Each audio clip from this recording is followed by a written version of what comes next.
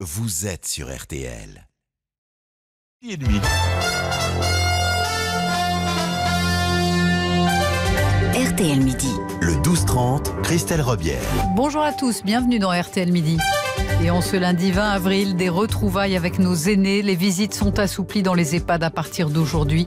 Nous vivrons celle quasiment en direct à Strasbourg de Josiane avec sa maman. D'un confinement à l'autre, les 1700 passagers du paquebot Magnifica débarquent depuis ce matin à Marseille. Il n'y avait pas eu de cas de coronavirus à bord et beaucoup s'inquiètent d'y être désormais confrontés. Les petits commerces rouvrent doucement en Allemagne, mais Angela Merkel redoute un relâchement des comportements. 44% des salariés en détresse psychologique d'après un sondage Opinionway. Les plateformes d'écoute sont débordées. Nous serons en ligne avec une psychologue de Covid écoute. Dans l'actualité aussi, le décès de la grand-mère paternelle du petit Grégory, Monique Villemain. Elle avait reçu, elle aussi, des lettres anonymes du Corbeau. La météo, bonjour, Patricia Charbonnier. Bonjour. La France est coupée en deux et pour une fois, c'est le nord qui en profite. Ah, ce sera très contrasté jusqu'à mercredi. Et sur la moitié nord du pays, le temps sera très ensoleillé avec une grande douceur. Sur la moitié sud, là, les conditions météo sont très instables avec des pluies qui seront continues. Donc, d'ici mercredi matin, localement, nous aurons des cumuls assez importants, surtout que les pluies sont localement soutenues. Ce sera le cas cet après-midi sur la Corse, de la pluie sur les rivages de la Méditerranée, beaucoup d'instabilité sur la moitié sud avec des averses et localement quelques orages. Et cette instabilité remonte même le long de la façade atlantique avec des pluies soutenues cet après-midi sur la Bretagne. Les températures entre 11 et 24 degrés. 24 degrés, ce sera le maximum et ce sera pour Paris cet après-midi. 21 degrés à Nancy et Montélimar, 20 degrés à Limoges, 18 à Bordeaux et 11 degrés de minimum à Brest sous la pluie. La question du jour sur RTL.fr, craignez-vous de ne pas retrouver votre vie d'avant? Comme le disait Edouard Philippe hier, eh bien vous dites oui à 59% et à 36% de non. On attend vos témoignages au 3210 sur Facebook et sur Twitter. Bonjour Pascal Pro. Bonjour Christelle, la vie d'après ne sera donc pas celle de la vie d'avant et vous pourrez réagir sur ce thème comme vous pourrez revenir sur euh, les EHPAD et des conditions qui ont changé. On pourra aller voir nos familles et c'est tant mieux. La réouverture des écoles qui est un vrai sujet pour le coup, par territoire ou par euh, moitié de classe quel est votre sentiment Et puis, faut-il obligatoirement porter un masque dans les transports publics lorsque euh, ces transports publics vont rouvrir après euh, le déconfinement? C'est aussi une question qu'on va poser au 3210. Les Français ne retrouveront probablement pas avant longtemps leur vie d'avant. Édouard Philippe, chargé de préparer le déconfinement, a été clair hier. Nous allons devoir apprendre à vivre avec le virus et nous en protéger. Il a toutefois concédé un assouplissement pour nos aînés dans les EHPAD qui souffrent beaucoup d'être coupés de leur famille. À partir d'aujourd'hui, ils ont droit à la visite de deux personnes, pas plus, tout en restant à bonne distance. Voilà comment Josiane a retrouvé ce matin sa maman à l'EHPAD d'Imlauch à Strasbourg, au soleil, sur la terrasse de la maison de retraite pour la première fois depuis le 17 mars. Reportage en immersion de Yannick Collant. Vous avez suffisamment chaud? Oui, ça va Maman, tu es impressionnée, hein C'est pourquoi? C'est la star de la journée. Tu sais qu'on ne peut pas se parler plus près, hein, à cause du virus qui traîne, là. On en aura bientôt fini avec ce virus. Mais au moins, ça nous permet, si tu veux, de nous voir toutes les deux de loin, hein Qu'est-ce que ça vous fait de voir votre fille, madame? Tu es contente? Ah oui, Oui ah oui, Sinon, ça va, maman? Ça va Ça fait du bien, hein? Ah oui. Voilà, tu vois. Et là, on pourra le faire de temps en temps, en prenant toutes les précautions, hein. c'est-à-dire un espace entre toi et moi. C'est extraordinaire, c'est de pouvoir renouer ses liens, quoi. Au moins le voir de temps en temps, lui parler, même si c'est deux mètres, mais c'est une, une excellente nouvelle, franchement. En prenant toutes les précautions de visage, hein, c'est franchement merveilleux pour les, les gens qui sont en, en maison de retraite. Voilà le reportage émouvant signé Yannick Collant à Strasbourg. Et tout de suite, partons en Charente, à Mansle, retrouver le directeur de l'EHPAD Bergeron-Grenier, Pascal Ramirez. Bonjour. Bonjour. Monsieur Ramirez, on s'était parlé il y a presque un mois dans RTL Midi, puisque pour protéger vos pensionnaires, la moitié du personnel avait décidé de se confiner avec les 58 pensionnaires 24 heures sur 24. D'abord, comment va votre petite communauté?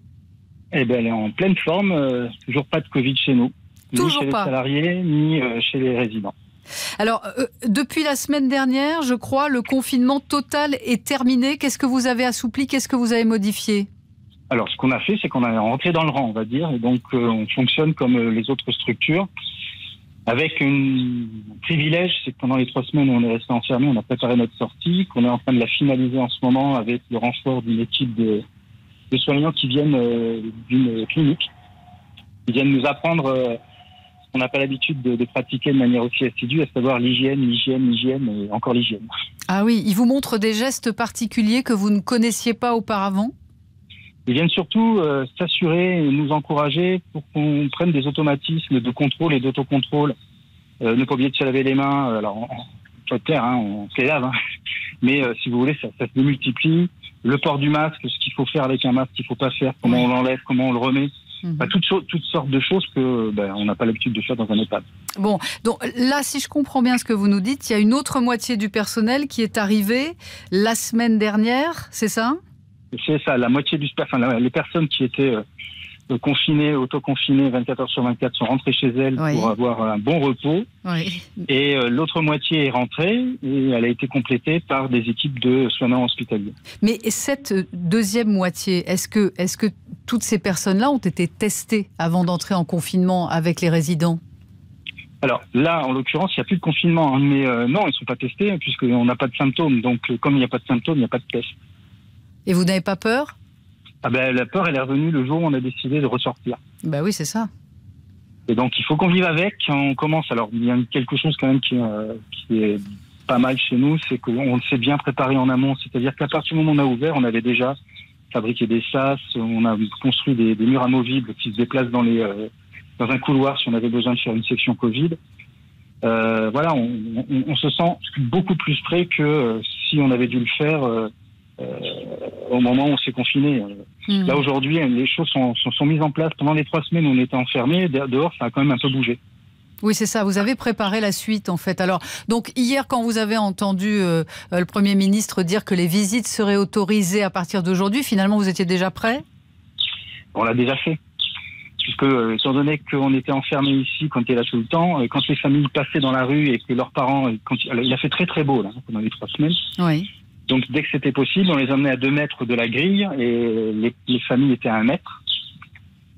Et euh, elles pouvaient discuter avec leurs parents. Alors ça, c'est bien pour les gens qui habitent dans le, dans le village, Mhm. parce que c'est pas compliqué. Euh, L'annonce hier, moi je la trouve très bienvenue, avec un tout petit bémol, parce qu'il va y avoir une nouvelle case sur les permis de circuler pour les familles. C'est vrai.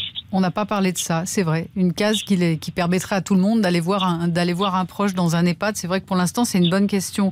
Euh, les familles donc pouvaient venir si elles le souhaitaient et dans la mesure du possible jusqu'à présent. Donc ça change rien finalement pour vous ou vous allez aménager des espaces particuliers pour ces familles? Alors en ce qui nous concerne, il n'est pas question que les gens rentrent à l'intérieur de la maison, à Oui. une exception.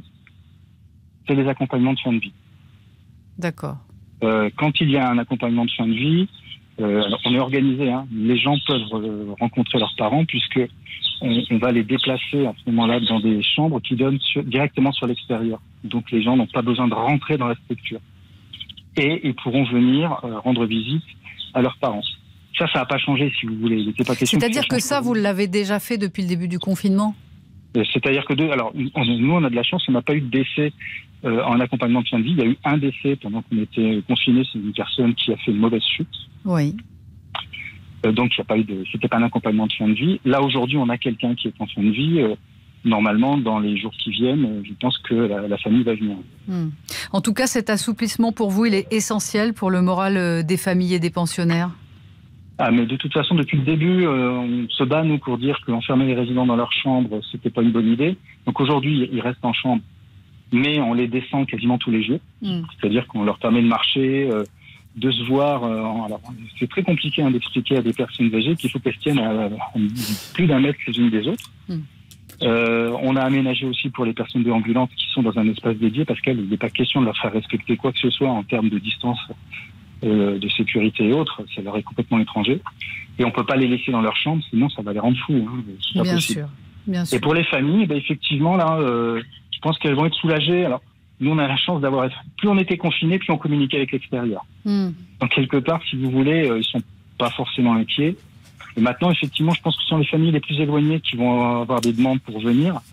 Bon, ben, il y a le petit bémol, mais je pense que le gouvernement va trouver une bonne solution. Vous avez l'air bien organisé en tout cas. Merci beaucoup euh, d'avoir témoigné. On vous rappellera, hein. on, continuera à prendre de vos nouvelles et des nouvelles de vos pensionnaires.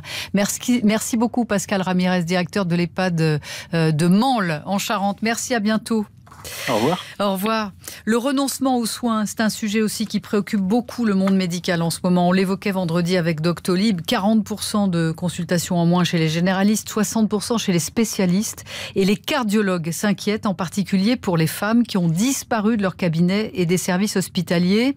Claire Mounier-Veillé, cardiologue au CHU de Lille, le constate au quotidien. Le service d'hospitalisation est rempli à moitié et aux soins intensifs cardiologiques, entre 40 et 50 Dans mon service aujourd'hui, j'ai euh, une femme pour 10 hommes. On a très peu de femmes et qui vont arriver avec 4-5 jours de retard, voire plus. C'est les personnes qui ont effectivement des symptômes d'infarctus, mais les femmes ont des symptômes très atypiques, comme de l'essoufflement, de la fatigue ou des troubles digestifs. Et elles sont tellement obsédées par l'épidémie Covid et puis par le travail à la maison qu'elles vont pas y penser. Surtout, elles ne veulent pas consulter parce qu'elles ont peur d'être hospitalisées.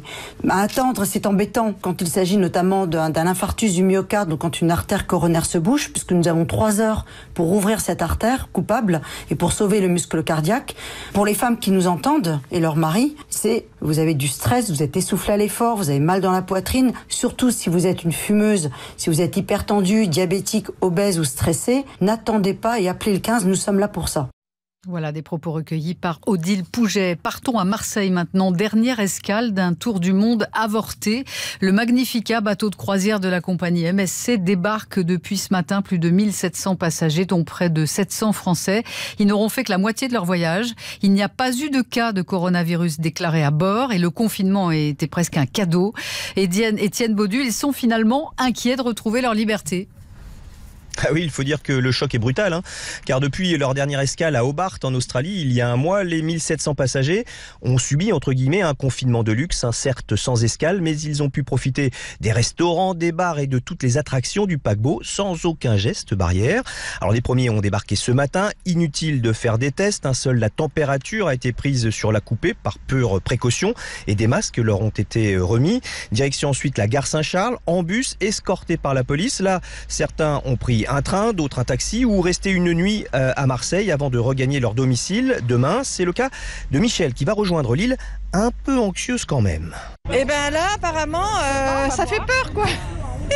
Déjà le masque, il n'y a pas longtemps, ça nous, ah, c'est pas facile. La police, tout, escorté. Euh, moi, j'aimerais revoir mes enfants, mes petits enfants, et là, je crois que pour l'instant, c'est pas, ça sera pas possible, quoi. Et puis il va falloir vite se mettre au diapason hein, du confinement, explique Jean-Yves qui regagne 7 dans l'Hérault. Ce qui est surprenant, bon, le port du, masque, faire attention à ne pas toucher les poignets quand on sort de quelque part, enfin, avoir des, des gestes que l'on n'a pas eu pendant un mois et qu'on va essayer d'acquérir très vite et puis c'est un comble, hein. après les Sunlight du paquebot, les passagers ont été accueillis ici à Marseille sous la pluie. Étienne du correspondant RTL à Marseille, merci. Une posée dans un instant, les commerces rouvrent peu à peu en Allemagne. RTL Midi. RTL Midi. Avec Christelle Rebière. Et pendant ce temps, l'Allemagne déconfine prudemment, mais sûrement. Premier grand pays d'Europe à autoriser la réouverture des petits commerces, tous ces magasins d'une surface inférieure à 800 mètres carrés. Mais pas tout le monde en même temps, ça va dépendre des régions, Blandine Messant. Depuis 9h ce matin, ce magasin de chaussures de Sarrebruck a ouvert ses portes en respectant les consignes de sécurité. Pas plus de 5 clients dans le magasin, 2 mètres de distance entre chacun, des masques, une vitre à la caisse pour se protéger des projections de salive. Et pour le patron, ce n'est pas la ruée, mais les clients avaient besoin de venir. On remarque quand même que beaucoup d'enfants ont besoin de nouvelles chaussures parce que leurs pieds ont grandi. Et pour nous, c'est très important car on a commandé nos chaussures il y a 6 mois. On les a reçues en février. Et c'est en mars, avril, mai que nous faisons notre plus gros Donc c'est très important que nous puissions rouvrir aujourd'hui. D'une région à l'autre, la situation change. Fédéralisme oblige. À Berlin, les magasins ne rouvriront que mercredi. La Bavière ne relâche du confinement cette semaine que les jardineries et les magasins de bricolage. Le reste suivra la semaine prochaine. Et dans la Sarre, les grands magasins peuvent rouvrir, mais à condition de limiter leur surface à 800 mètres carrés. Selon la Fédération du commerce, il est grand temps de revenir complètement à la normale, car des dizaines de milliers d'établissements sont menacés de faillite. Blandine Mélissant, la correspondante d'RTL à Berlin, et la facture sera historique ici aussi en France. Le confinement sur huit semaines va se traduire par 120 milliards d'euros perdus pour l'activité. D'après une étude publiée par l'OFCE, 9 600 000 salariés sont actuellement au chômage partiel, soit près d'un salarié du privé sur deux. C'est ce qu'a indiqué ce matin la ministre du Travail, Muriel Pénicaud, sur RTL. Elle a précisé qu'elle ne fermerait pas le chômage partiel au 11 mai. Ce sera dégressif au fur et à mesure que l'activité reprendra. Et elle a incité les entreprises à repartir. 44% des salariés se sentent aujourd'hui en situation de détresse psychologique. C'est le résultat d'une étude OpinionWay. C'est 10 points de plus qu'avant le mois de mars. Quelle que soit notre situation, notre âge, nous sommes tous déstabilisés par le confinement et par cet avenir en pointillé, euh, déstabilisés par euh, pour notre travail, pour nos enfants, notre santé. Il existe une plateforme Covid Écoute pour dialoguer lorsque l'angoisse est trop forte. Bonjour Stéphanie Pellissolo. Bonjour. Vous êtes psychologue clinicienne à l'hôpital Trousseau à Paris et cofondatrice justement de cette plateforme euh, Covid ah Écoute. Ah non? Oui, alors je suis non non non je, je, je, travaille, je suis psychologue libérale rue Trousseau. Ah, je ne travaille pas à l'hôpital Trousseau. Mais vous êtes bien cofondatrice de Covid Écoute, on est d'accord. Bon. Tout à fait, avec la fondation fondamentale. Alors, justement, quel genre d'appels recevez-vous? Alors, on reçoit des appels de personnes qui n'ont pour la plupart jamais euh, consulté de psychologue auparavant.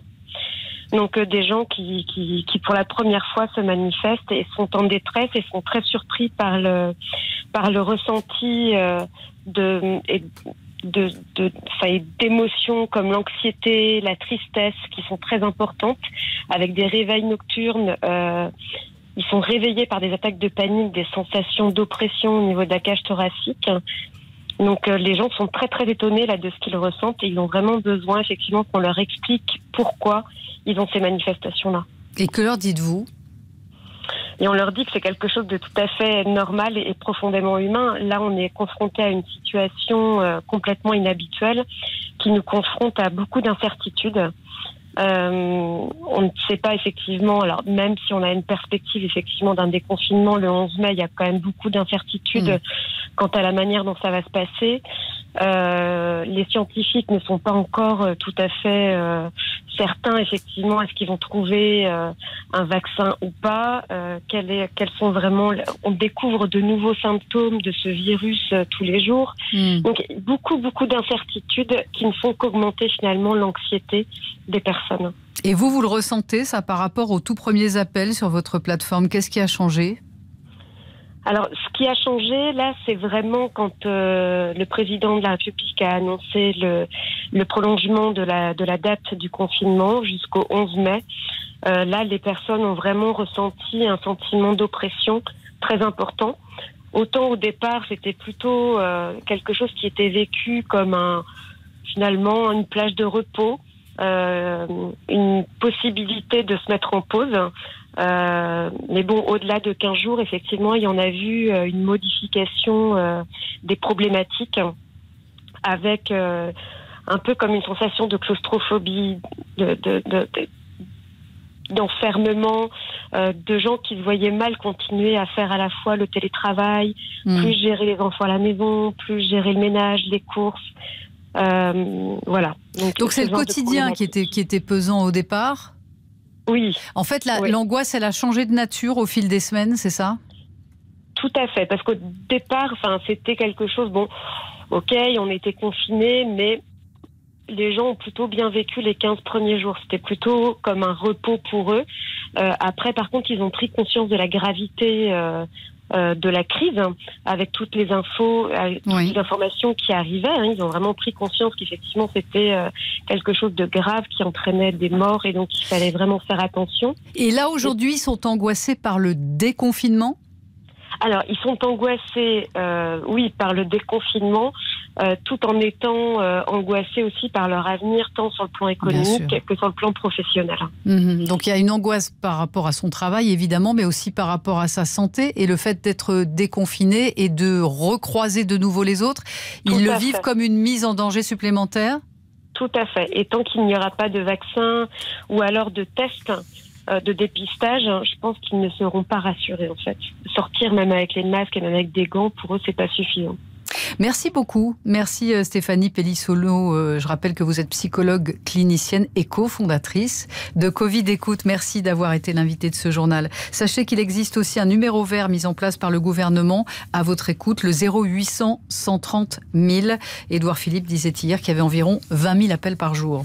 Faut-il s'inquiéter aussi pour l'eau? C'est une incertitude de plus. Le Covid-19 peut-il y prospérer? Y présente-t-il le même danger? La ville de Paris a découvert des traces infimes de coronavirus dans son réseau d'eau non potable. Elle a suspendu immédiatement l'usage de ce réseau au nom du principe de précaution. Sophie Jousselin, d'où vient cette eau? Eh bien, cette eau, elle est prélevée directement dans le canal de l'Ourcq et la Seine et elle est utilisée brute, sans véritable traitement pour nettoyer les rues de la capitale, arroser les parcs et jardins et alimenter les fontaines à eau ornementales. Elle circule dans un réseau d'alimentation indépendant et c'est sur 4 points de prélèvement sur 27 que des traces infimes du virus ont été détectées. La ville de Paris a saisi l'Agence régionale de santé d'Île-de-France sur les risques potentiels présentés par cette eau.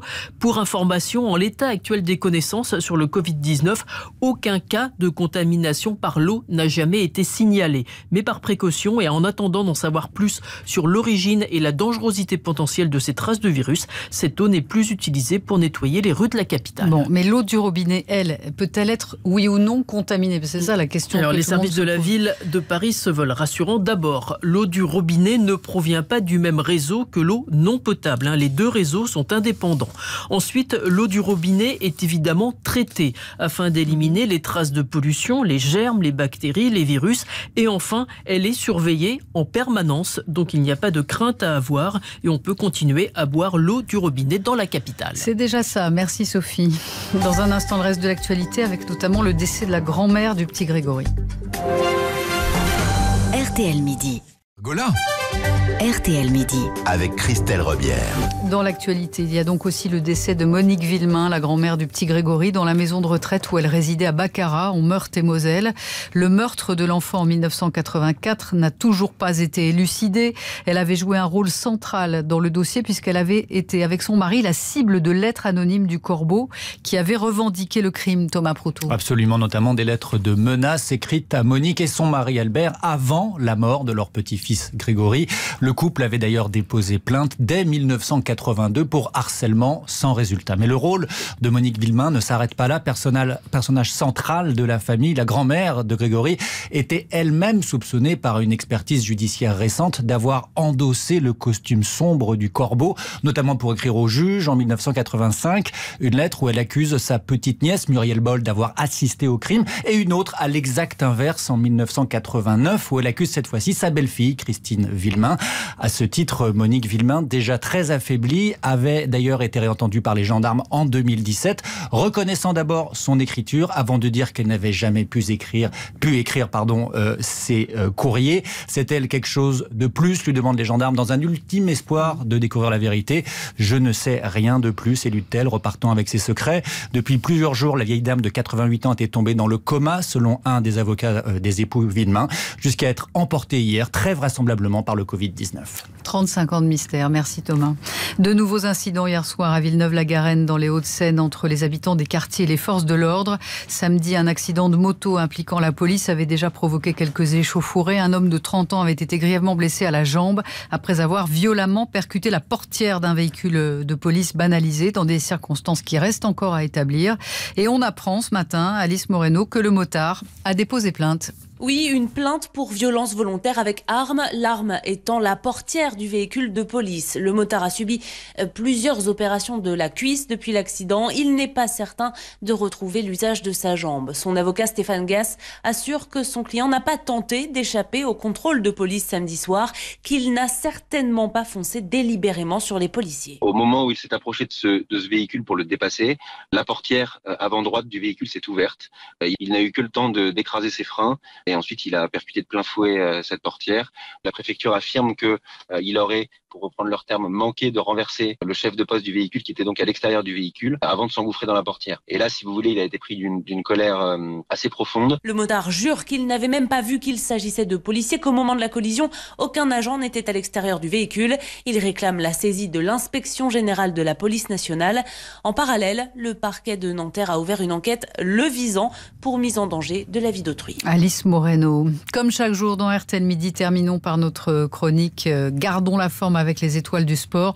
Un champion nous donne des conseils pour rester en condition malgré le confinement. Bonjour Isabelle Langer.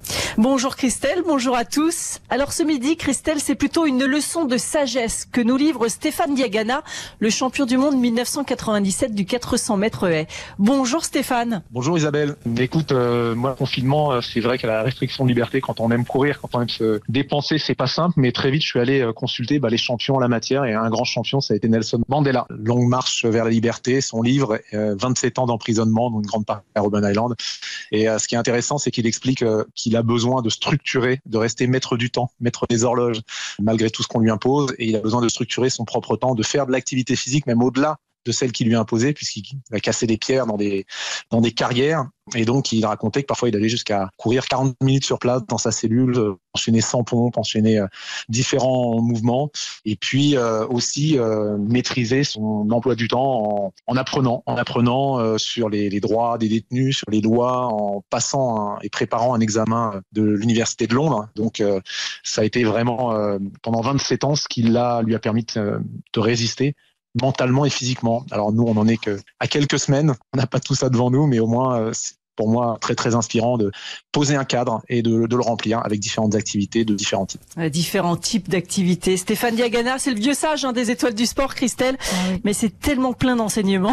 Diagana qui a la tête et les jambes, ça se confirme. Merci beaucoup Isabelle. À demain. À demain. Et on retrouve Pascal Pro avec qui vous allez donc dialoguer au 32-10 dans quelques secondes. Pascal. Il est certain que l'aspect psychologique du Covid-19 et ceux qui craignent pour ce retour euh, au travail ou qui angoissent ou qui ont peur, pourquoi pas même de euh, perdre leur emploi, sera un des thèmes qu'on pourra évoquer avec euh, les, auditeurs. Il y, a, des angoisses multiples désormais, angoisses sanitaires. Il y a la peur des autres aussi. Des autres Après le déconfinement, oui. La peur de croiser les autres.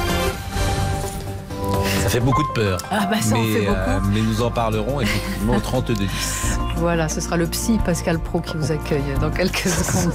Je suis pas La météo, Patricia Charbonnier, soleil au nord, pluie au sud. Ah, c'est très contrasté cet après-midi et ça va être comme ça jusqu'à mercredi. Sur la moitié nord, on profite de conditions météo anticycloniques, donc le temps est très ensoleillé avec une grande douceur. Et sur la moitié sud, et on a des pluies qui remontent de Méditerranée, situation qui va rester bloquée jusqu'à mercredi matin avec des pluies continues cet après-midi sur les régions méditerranéennes et des pluies qui sont même soutenues sur la Corse. Et toute cette instabilité remonte également le long de la façade atlantique avec des averses à caractère orageux et des pluies qui sont même soutenues sur la Bretagne avec des températures comprises entre 11 et 24 degrés. 11 degrés à Brest, 17 à Toulouse, 18 à Bordeaux, 20 degrés à Limoges, 21 à Nancy et Montélimar et jusqu'à 24 degrés à Paris. Et pour demain, Patricia, bah encore de la pluie au sud. Exactement, la même chose sur la durée. On risque d'avoir localement des cumuls assez importants hein, près de la Méditerranée. Des pluies soutenues demain matin sur la Corse et sur le Languedoc-Roussillon. De la pluie et un ciel couvert sur toute la moitié sud et encore une fois sur la côte atlantique, alors que sur la moitié nord, le temps sera très ensoleillé on aura simplement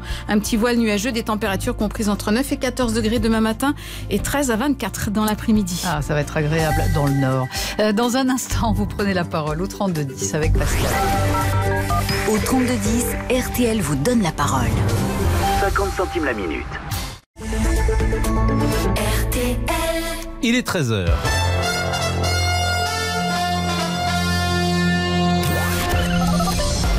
Les auditeurs ont la parole sur RTL.